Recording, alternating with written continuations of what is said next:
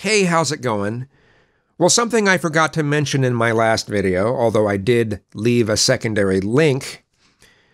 Uh, to those of you who are new subscribers, I'm a musician. I don't just do karaoke, I write my own material, uh, produce, perform. I've been writing music since I was six, and uh, I have some of my music in a playlist here on YouTube. And if you want to check it out, uh, there's a link in the description bar. Uh, kind of hard to describe the music that I write. It's kind of a cross between everything I listen to, and I'm pretty eclectic. Some of my favorite music is stuff with odd timings and odd chord progressions. And if you don't know what any of that stuff means, I, I like to make stuff that's a little different.